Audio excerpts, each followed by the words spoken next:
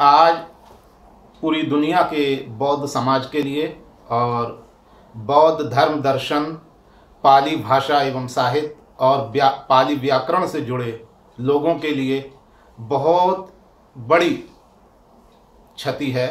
आज परम पावन प्रोफेसर भिक्षु सत्यपाल महाथेर जी का परिनिर्वाण हो गया बोधगया में। वह पिछले तीन दिन से बीमार थे और तीन दिन पहले उनको अंतर्राष्ट्रीय बुद्धिस्ट मेडिटेशन सेंटर, जो कि बोधगया में माया सरोवर के पास है, वहाँ पर उसके बाथरूम में उनका पैर फिसल गया था, वह गिर गए थे और आज चार मई 2021 को प्रातः तीन बजकर पैंतालीस मिनट पर उन्होंने अंतिम सांस ली और उनका देह अवसान हो गया।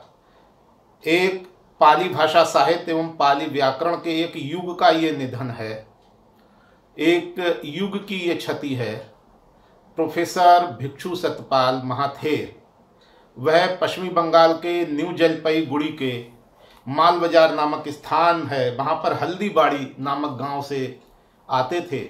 उस हल्दीबाड़ी नामक जो चाय के बागान का सुंदर और मनोरम एरिया है। वहाँ के उस सुरम वादियों में उनका जन्म हुआ था और एक मार्च उन्नीस सौ उनचास को आपका जन्म हुआ था और उनकी माँ जुथिका रानी बरुआ, जूथिका रानी बरुआ और पिता विनोद बिहारी बरुआ थे और आप आठ भाई बहन हैं, जिसमें कि सबसे बड़े प्रोफेसर भिक्षु सतपाल जी ही थे, जिनके बचपन का नाम समीर बरुआ रखा गया और चार बहनें, चार भाई, जिसमें सबसे बड़े भाई आप ही हैं।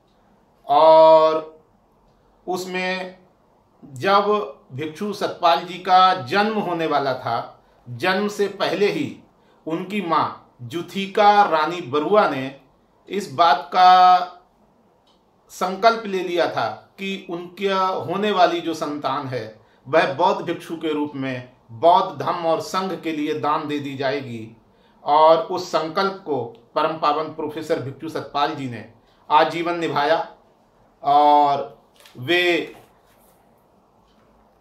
उनके घर से 100 किलोमीटर की दूरी पर बुद्ध विहार था। उस बुद्ध विहार में राष्ट्रपाल नामक, राष्ट्रपाल महाथेर नामक एक बौद्ध भिक्षु, डॉक्टर राष्ट्रपाल महाथेर, जो कि बहुत बड़े बौद्ध भिक्षु रहे हैं, वह आते थे। उनसे उनका संपर्क हुआ। राष्ट्रपाल महाथेर जी ने ही प्रोफेसर भिक्षु सतपाल जी को 19 वर्ष की अवस्था में बौद्ध भिक्षु संघ में प्रवेश दिलाया और उनकी पहली प्रवज्ञा हुई। उसके बाद उनकी 12 मई 1968 को उपसंपदा हुई और प्रोफेसर भिक्षु सतपाल जी ने अपनी पढ़ाई बंगाल में की और उसके बाद उन्होंने एमए की पढ़ाई उन्नीस सौ बहत्तर में नव नालंदा महाविहार, नालंदा से की। फिर वह पीएचडी करने दिल्ली विश्वविद्यालय आए और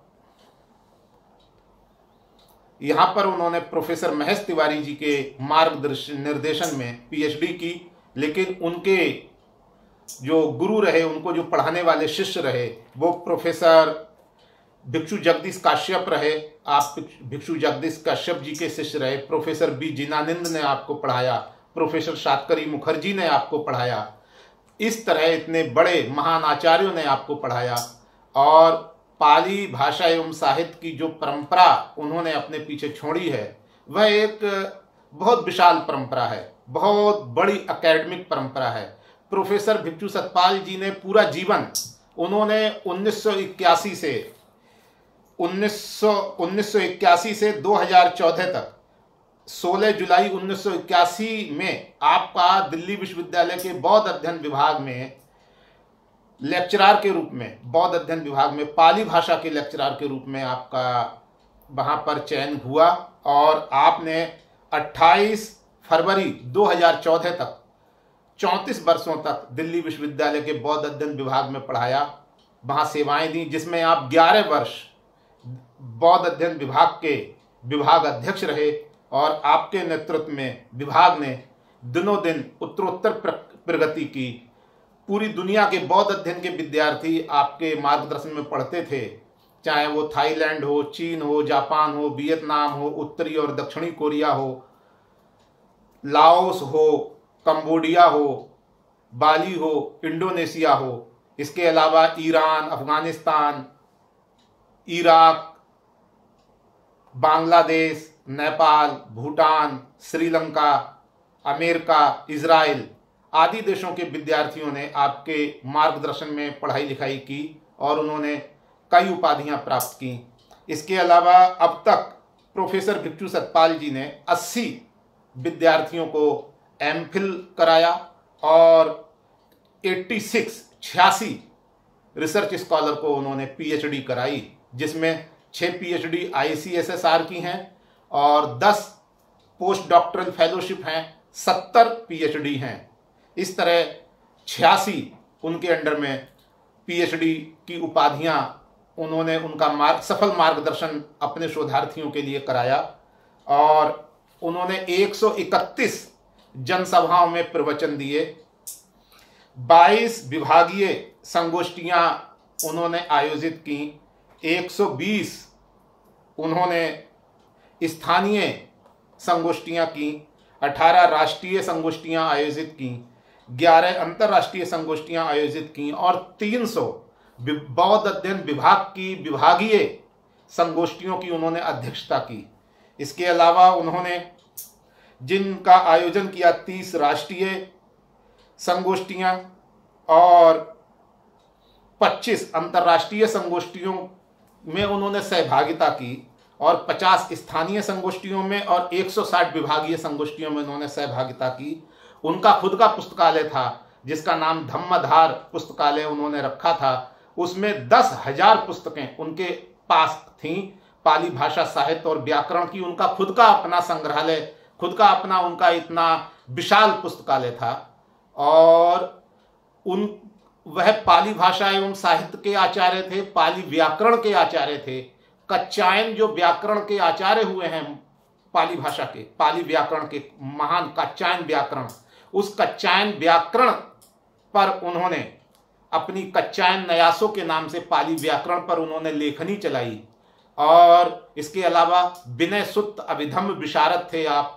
और उनकी जो विद्वता है पाली भाषा और व्याकरण की, इसको देखकर बर्मा की सरकार ने उनको अग्र महापंडित की उपाधि से विभूषित किया था, बर्मा की सरकार ने। और इसके अलावा ये साउथ एशिया देशों के कई सारे विश्वविद्यालयों ने उनको बहुत सारे सम्मान दिए और प्रोफेसर भिक्षु सतपाल ने सैंतीस पुस्तकें उनकी अब तक प्रकाशित हैं और उनकी बत्तीस अप्रकाशित पुस्तकें हैं।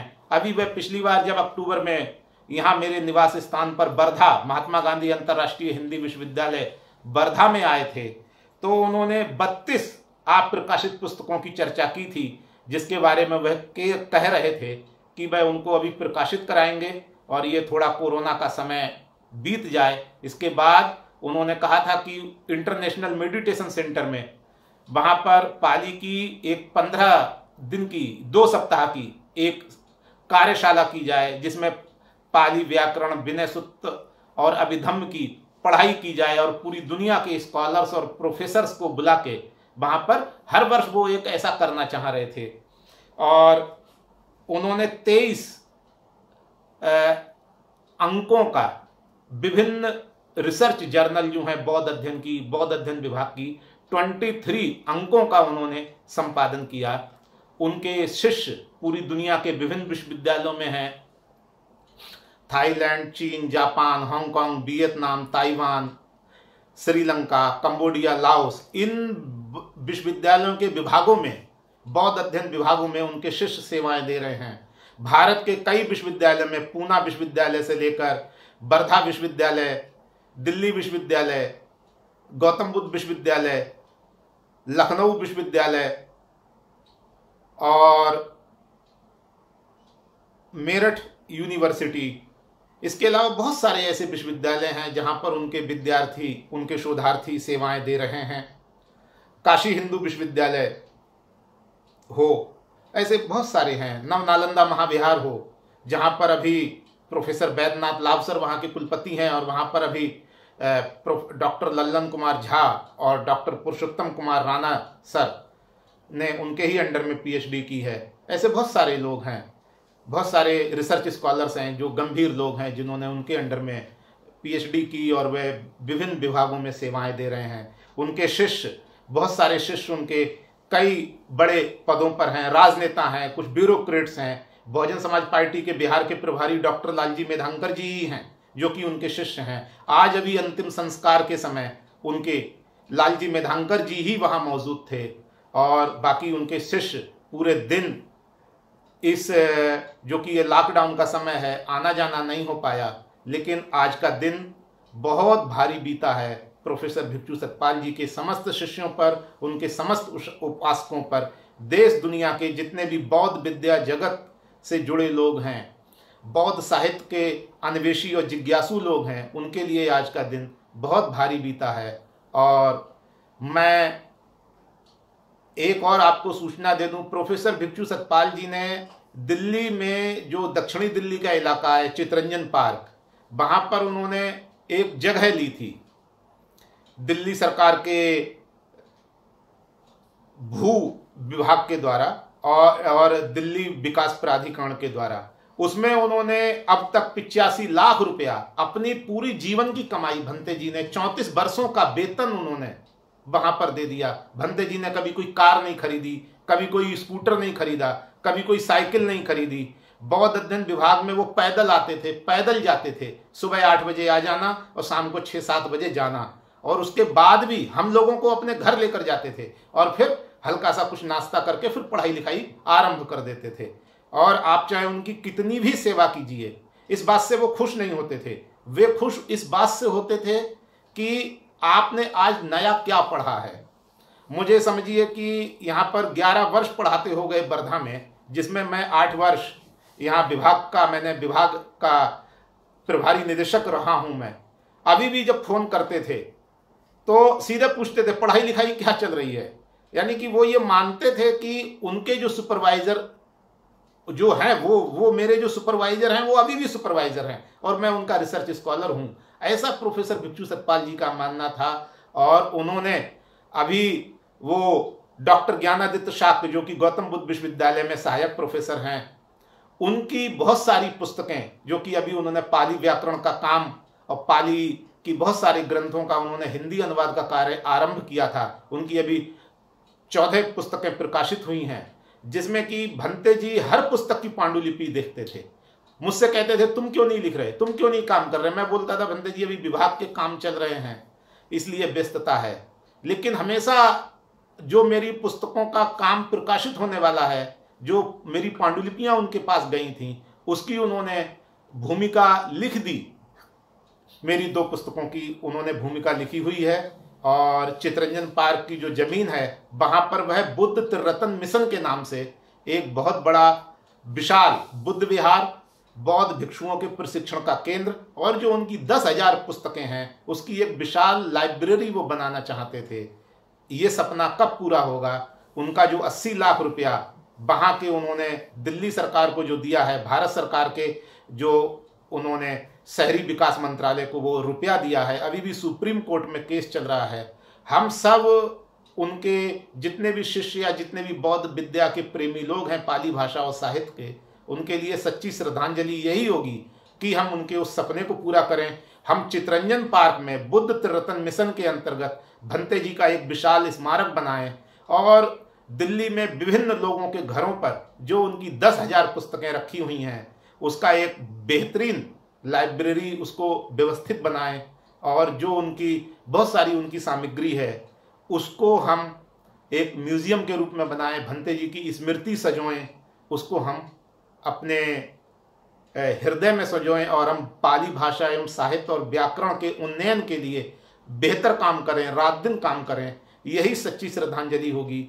इसी के साथ मैं अपने आदरणीय गुरुवर, प्रोफेसर भिक्षु सतपाल जी को श्रद्धांजलि अर्पित करता हूँ। और सबसे एक और बात है कि प्रोफेसर भिक्षु सतपाल जी ने अपना एम एम ए का डेजर्टेशन उन्होंने प्रेत कथाएँ, बौद्ध अध्ययन में प्रेत कथाओं पर किया था।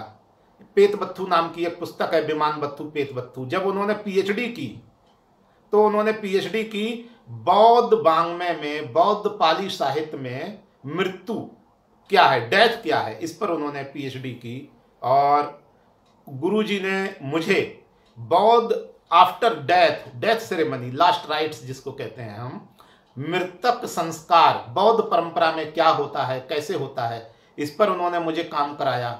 मुझे बहुत सारे लोग कहते थे कि भंते जी ने तुमको फंसा दिया है। जो काम वो खुद करना चाहते थे, जो प्रोजेक्ट वो खुद करना चाहते थे तो वो अभी कर नहीं पा रहे हैं। तुमको फंसा दिया। अब तुम बहुत बुरे इस रिसर्च के काम में उलझ गए हो।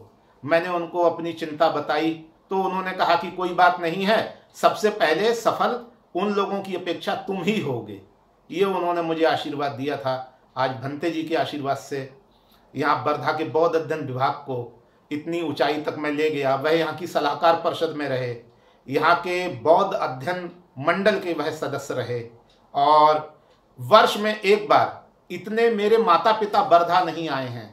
जितनी बार भंते जी यहाँ मेरे घर आए हैं, वर्धा में यहाँ पर मेरे आवास पर आए हैं, हमेशा वर्ष में एक बार जब भी उनको समय मिलता था, वर्धा आते थे, रहते थे और जितनी मैं सेवा कर सका, हम सब लोगों ने उनकी सेवा की है, उतना कर सका। गुरु जी के लिए यही मेरी अंतिम श्रद्धांजलि है।